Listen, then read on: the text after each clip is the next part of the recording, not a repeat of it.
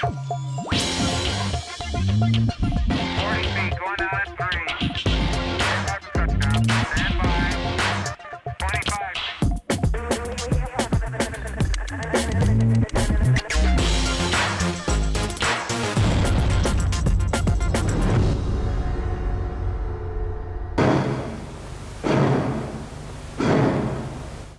Milko Šparamblek volio je književnost, pa je upisao komparativno na filozofskom.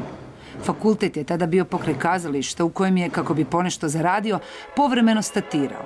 Sve do ga jednog dana nije pozvao Oskar Harmoš. Druže mali, jel čuješ muziku? Jel čujem? Dobro. Znaš kaj?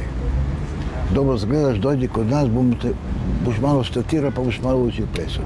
Pa sam došao ovdje. I tako je sve počelo. Harmoš i Ana Roja naučili su ga plesati. I to dobro. Ali probe su bile važnije od fakulteta. Roditelji nisu bili sretni. Slušaj, kaj je za jednu građansku familiju? Advokatura ili do, doktorat, ne? Doktor ili advokat, ne? To je, to je ono, ne? To je tako. Kad nije bio u kazalištu, bio je u kazališnoj kavani. Ono su najviše odlazili u Kavkaz. Da, stajali bi prislonjeni u zid dok je Ujević govorio. I razgovarao sa svojim uzvanicima, da je tako nazovem, ne? Njega smo sjedili. Ja sam više ovaj, slijedio, ako hoćete, idol tog vremena bio mi je Ujević. Ne samo Ujević. To je Nobel. On je Nobel. Krže je Nobel. Ne? 1947. počinje plesati u Hrvatskom narodnom kazalištu. 53. odlazi u Pariz. Evo to je Čerina, to je moja malenkost još ovdje. A treća osoba je Stevan Grebeldinger, je naš Jugoslaven također, koji živi u Atlanti. Pa molim vas da pustite malo da pogledamo.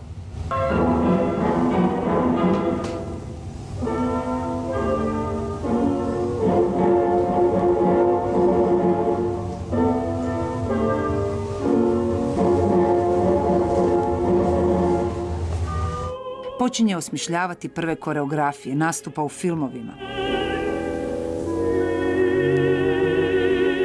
sve svoje partiture tako e, procijenio i tako proučio e, ono doslovno do svakog malog takta, do svakog onog auftakta, rekla bih. Milko je fenomen.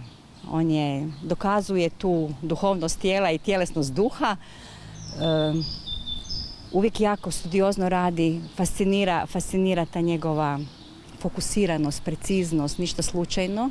71. postaje ravnatelj baleta Metropolitan opere u New Yorku. Zatim ravnatelj baleta u Lisabonu, u Lionu, ali i u Zagrebu u prvoj polovini 90-ih. On je jednostavno građanin svijeta, to je sigurno.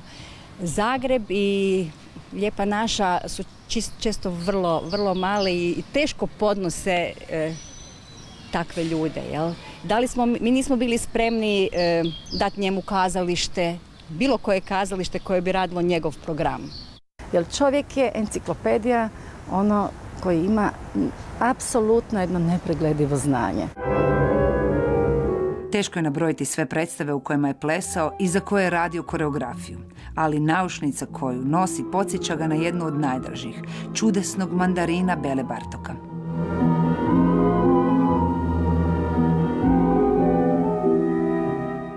Obišao je pola svijeta i evo ga opet na trgu između fakulteta i plesne dvorane. Voli Zagreb. Kaže da premalo uživamo u ljepotama koje su oko nas, na primjer u Meštrovićevu zdencu života. Fantastično vreme. Vreme gdje. Baš kada mi govori da se u Muzeju za umjetnost i obrt održava izvrsna izložba, nailazi ravnatelj muzeja. Sjajna izložba. Hvala, ako vi to Sjajna. kao No, sjajna. je. i akteri, sudionik Sjajna je, i sjajna izložba je prisutni sjajna. na izložbi Pa, ste i sve je. kako god hoćete. Zbilja je, zbilja.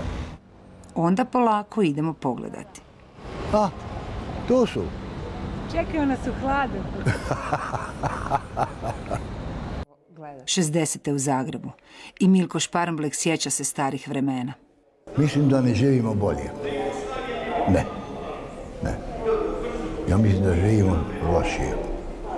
Nažalost. Da.